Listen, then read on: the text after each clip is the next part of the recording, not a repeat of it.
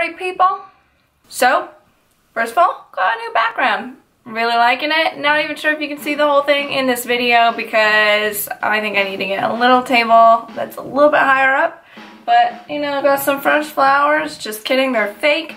And got my skull back. Uh, I wanted to record a video in my first video I ever made. It's called Highlighting Like a Boss. I'll link it down below so you can check it out. Um, I talked about fan brushes and I basically said why spend a bunch of money on a fan brush when you can get them at the art supply store for $3. This Morphe one was like 8 bucks. This one was $3. And they have natural hair brushes too, so don't give me none of that. It's synthetic and synthetic.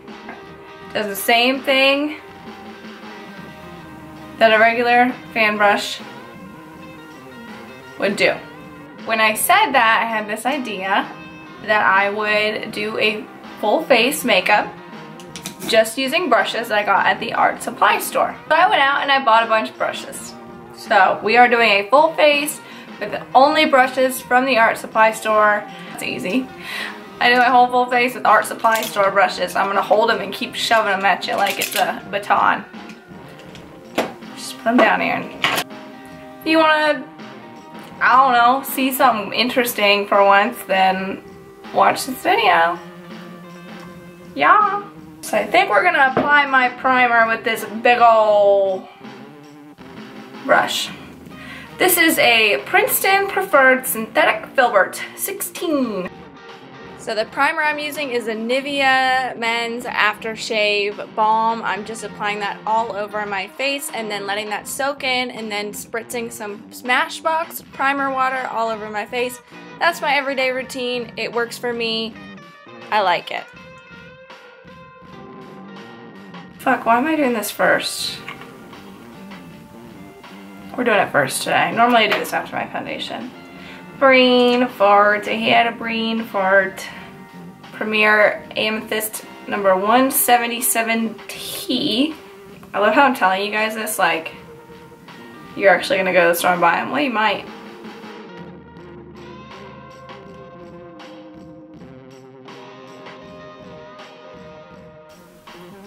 Well, this is what it is. Normally I put concealer on after my foundation because I think it's wasteful.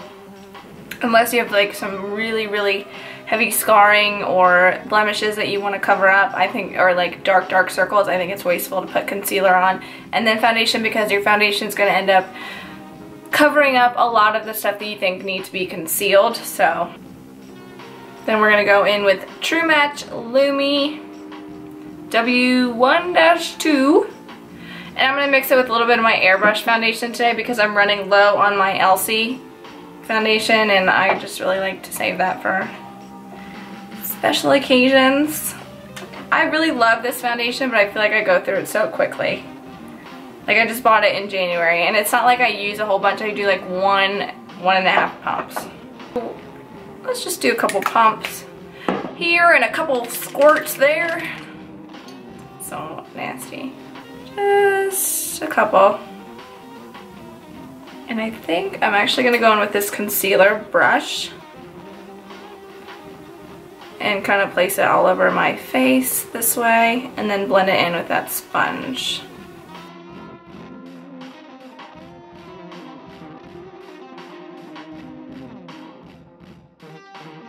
And just kind of pat it kind of like you're slapping yourself in the face. But it's making you look better, not worse.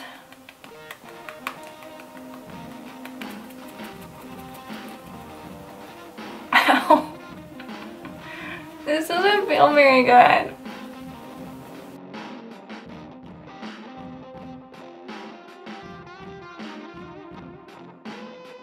Foundation, obviously it's not perfect.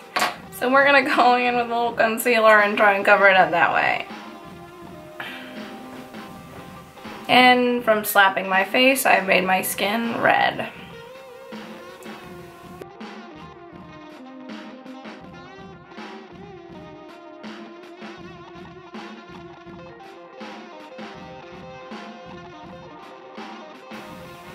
Not perfect. Nobody's perfect. You gotta work it. My liquid contour, I am using the RCMA Cream Foundation palette, just one of the darker colors in there, just focusing it on my cheekbones, a little bit on my nose. Then we're going in with a square flat brush and kind of buffing it in that way. Oh yeah. Now it's time to set the Using the RCMA No Color Powder mixed with a little Ben Nye Banana Powder, we are going to go in with... I want to go in with this little round mop. Half inch. Little brush. This is by Simply Simmons. Simply Simmons coming through.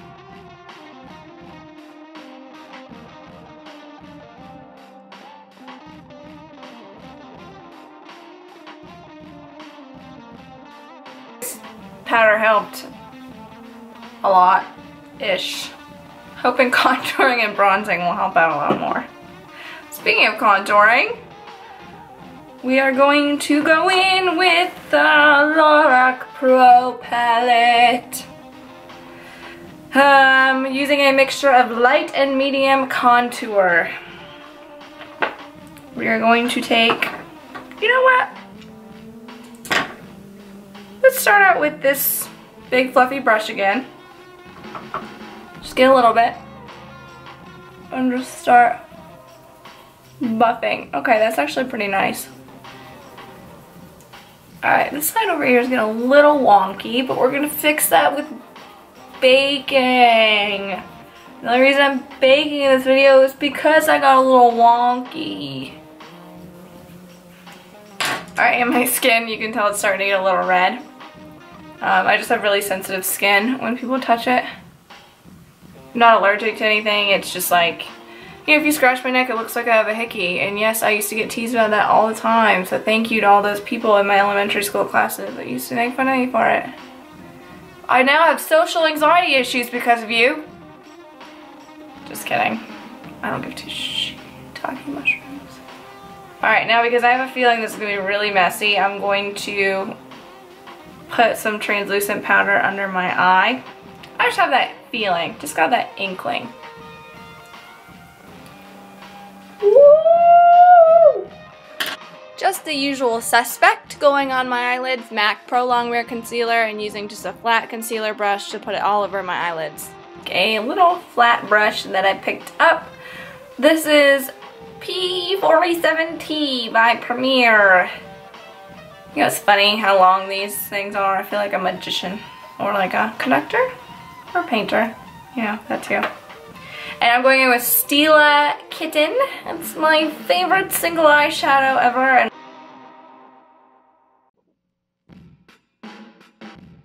the Too Faced Pretty Rebel palette. Miss Sparkle. So we want something with a little pizzazz. And Make sure you're keeping the black eyeshadow below your crease you know, just in case you want to replicate it. I'm going in with Sybil by Devinah Cosmetics. This is a pink shade just to use as my transition lid shade to kind of make sure that harsh line between the black eyeshadow and kitten is kind of untraceable. Now to start working on our crease and our brow bone, I will be taking Limit, Nooner, and Strange throughout my crease and transition shades. Simply Simmons Round. Just windshield wiper motions like you would normally do with any other brush. We are using Nooner first and then going up with Limit to transition. Going some more of that black.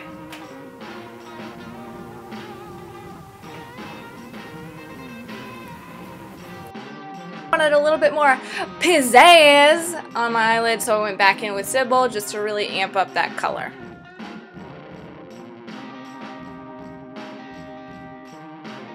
I do have a little smudge brush, so we're going to take some black eyeshadow and smudge it.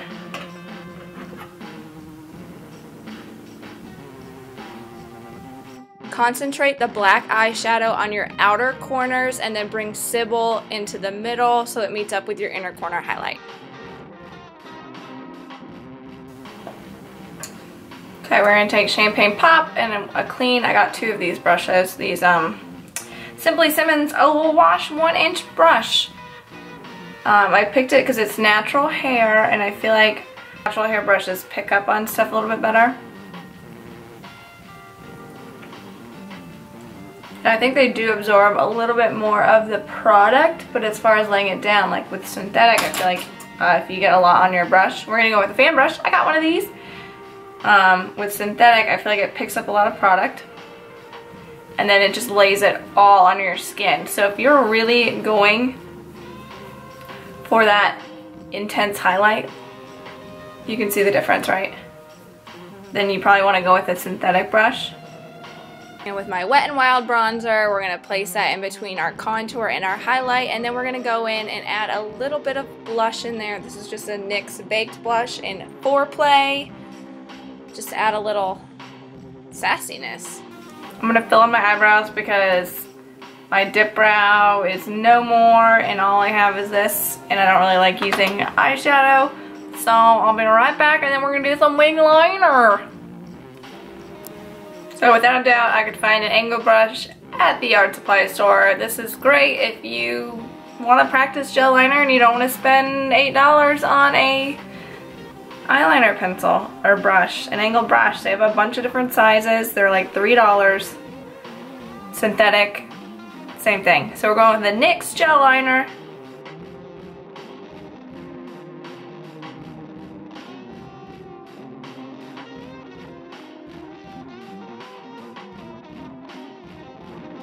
Skin has had a chance to settle down after, whoo, that redness got a little crazy for a second. I'm not mad at it. Will I do it again? Probably not. Am I to keep some of these brushes? Maybe, for myself. I mean, okay, so here's the thing, you guys. With eyeliner brushes, I feel like you can kind of get away with going to the art supply store. Some of, I think some of the concealer brushes are great. Some of these, like, fluffier brushes like this are great um, for personal use if you're a makeup artist and you have this in your kit, I don't, I don't know. I just think you're, like everything in my kit is high-end. You know, I have a couple things here and there where I've tried high-end and maybe I don't like the high-end as much as I like the drugstore or the lower-end brand.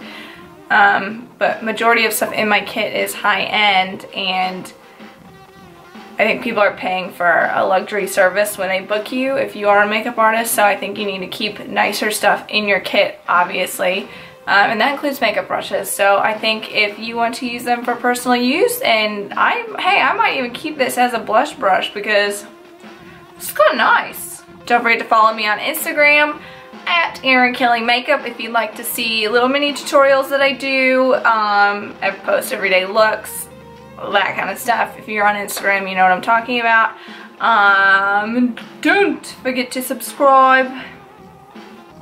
Don't forget to be nice to people because it really is not that hard and you just never know what people are going through. So, brushes from the art supply store and try it out for yourself. Let me know what y'all think. Okay, bye.